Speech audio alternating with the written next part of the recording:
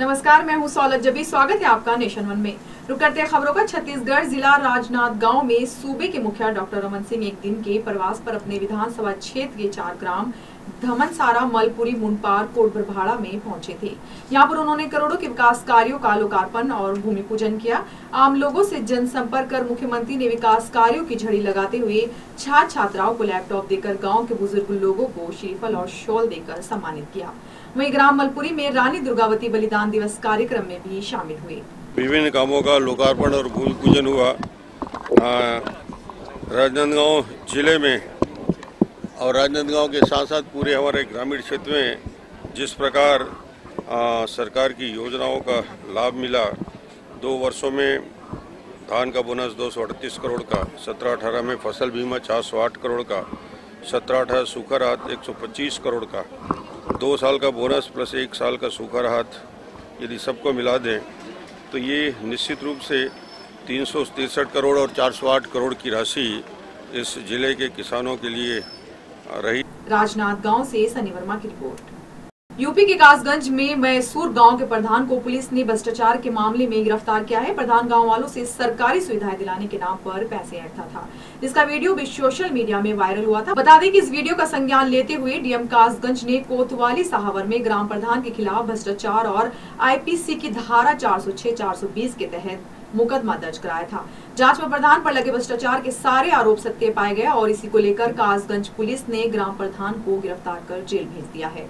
इसके तहत लोगों ने शिकायत करी थी कि ग्राम प्रधान शौचालय बनवाने के नाम पर तीन तीन हज़ार रुपये की वसूली कर रहे हैं। पुलिस ने तत्काल जाँच करके मुकदमा पंजीकृत किया और वो आरोप सत्य पाए गए। कुछ ऑडियो वीडियो भी हमें प्राप्त हुए तो उसके आधार पर जो प्रधान जी हैं, उनको पकड़ा गया है और उनको जेल भेजा गया है। भ्रष्टाचार का भी मुकदमा उनके विरुद्ध कायम है। साथ ही साथ चार सौ बीस और चार सौ छः के मुकदमे के तहत जो म्यापुर के ग्राम प्रधान हैं, उनको आज जेल भेजा कासगंज से सौरभ यादव की रिपोर्ट। वक्त हो चला एक छोटे से ब्रेक का। हाँ मैं मांगलिक हूँ और मैं तीस साल की होने जा रही थी। Then I found Mangliks dot com. शादी योग्य मांगलिक लड़के लड़कियों की एक अकेली जेनवन वेबसाइट इसमें है एक लाख से ज़्यादा मांगलिक प्रोफाइल्स और रजिस्टर करना फ्री और एकदम आसान। अब अपना मांगलिक लाइफ पार्टनर सर्च करें मैच करें और मांगलिक्स डॉट कॉम पर पाएँ अपना मनपसंद जीवन साथी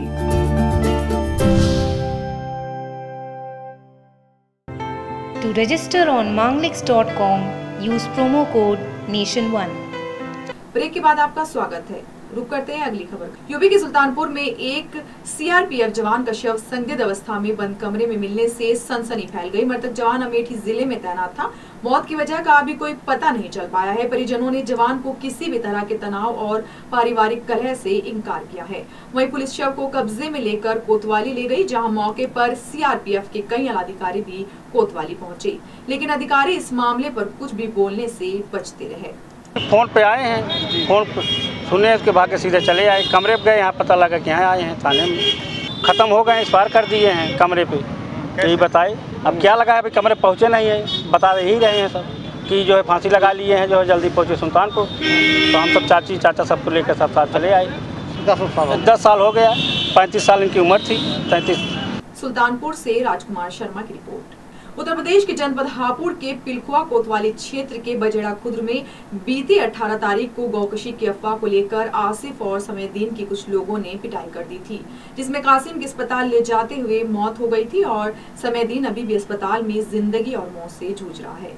इस पूरे मामले को लेकर हापुड़ में समाजवादी पार्टी के दो मंत्रियों सहित सैकड़ों कार्यकर्ताओं ने धरना दिया। युवाओं के सपा नेता अतुल प्रधान ने प्रदेश सरकार पर आरोपियों को बचाने का आरोप लगाते हुए कहा है कि बीजेपी देश में नफरत फैलाने की राजनीति कर रही है। इसके साथ ही उन्होंने सरकार से जाँच कर आरोपियों के खिलाफ कार्रवाई करने की मांग की है। वहीं पूर्व सभा राज्य मंत्री सुधारक कश्यप ने योगी सरकार को ढोंगी सरकार बताया। आज समाजवादी पार्टी के माननीय राष्ट्रीय अध्यक्ष जी के आह्वान पर यहाँ के ज़िले के अध्यक्ष, पूर्व मंत्री मदन चौहान जी से लेकर तमाम वरिष्ठ लोग काशिम के हत्यारों को पकड़ने के लिए और ऐसी घटना की पुनरावृत्ति ना हो, उसके लिए यहाँ पर एक दिवसीय धरना प्रदर्शन का आयोजन किया गया है। ये जो नफ़रत फैलाने वाले लोग हैं, ये जो झूठ बोलने वाले लोग हैं, ये जो वादा खिलाफी करने वाले लोग हैं, जो सत्ता में आ गए हैं झूठ बोलकर, हम इनसे मांग करते हैं कि कासिम के परिवार को इंसाफ मिले।